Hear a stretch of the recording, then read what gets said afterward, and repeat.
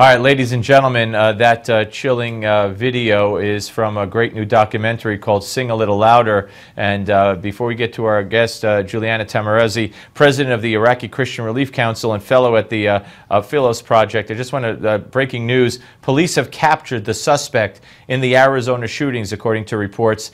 this, there were shootings where one person was killed, five people were wounded in several different locations in Mesa, Arizona. There are reports now that police have have a suspect in custody in those shootings. All right, let's say hello to Juliana right now. Um, welcome, good to see you, and uh, congratulations on, on this uh, documentary. Uh, you know, the message of the persecution of Christians uh, is something that you know on this show we try to talk about as much as possible. It does sometimes get lost in the shuffle of all the crazy things that goes on uh, go on in the world. You keep it at the forefront, and I'm glad you do. Talk about what you're doing with this documentary. Thank you for having me on again, Steve. The documentary basically talks about the uh, churches in Germany singing louder through their choirs to drown out the cries of the Jews that were being taken to death camps in uh, trains passing by their churches.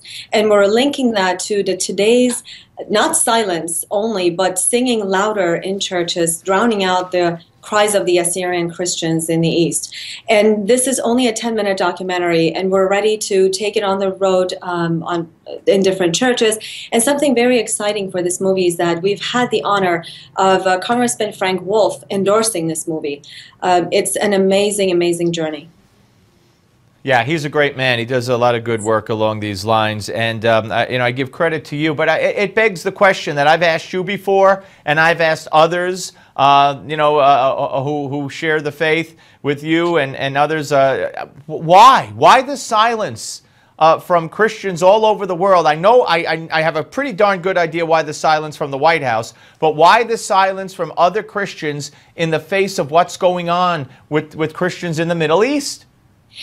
I strongly believe that we as Christians have become complacent in our own faith. Many of us really do not understand it. We are cultural Christians rather than really uh, staying true to the essence of Christianity as a religion. That's first and foremost. The second one is that we want to become more and more politically correct, not offending Muslims, uh, even extremist Muslims who are thirsty for Christian blood.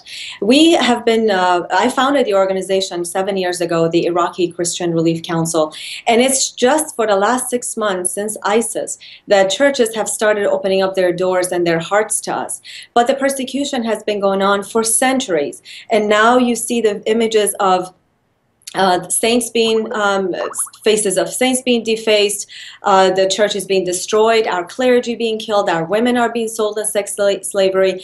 That has been just being brought forth uh, through people like you, Steve, and I'm grateful for that, uh, and keeping it on the radar. But we've been at this for a long time, and it is really embarrassing for the church standing at the pulpit, pastors standing at the pulpit, preaching the gospel, and yet failing to stand with the suffering body of Christ in the East.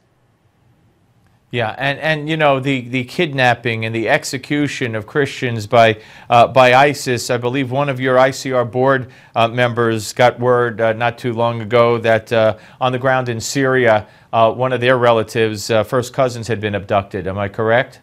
Seven of them, Steve. Seven of them have been abducted, and two of them have been executed. It's outrageous. And then you see the, the trashing the, the, of, of the the historical uh, monuments and religious figures uh, that are in museums or in churches and what they do with pleasure to these uh, symbols of, of other people's history and religion. Uh, it just speaks to, to, to who they are. Uh, tell the folks out there watching right now what they could do to get to your organization, possibly get you into their church to see this documentary or see it without you there. How could they go about that? Thank you, Steve, for that. The Iraqi Christian Relief Council is a nonprofit organization, and we go to churches and to synagogues, even to groups that we present. We really bring these stories to life for you and we talk about what you can do right now the basic necessity in syria and in iraq is food medicine shelter clean water and etc and we work in both countries and you can so, donate so iraq iraqchristianrelief.org correct IraqiChristianRelief.org. And please go Iraqi to singloudermovie.com. Singloudermovie.com. Singloudermovie.com. Great to talk to you again. Thank you Thank very much. We'll speak to you on. soon. Jeffrey Lord's next, folks. Don't go away.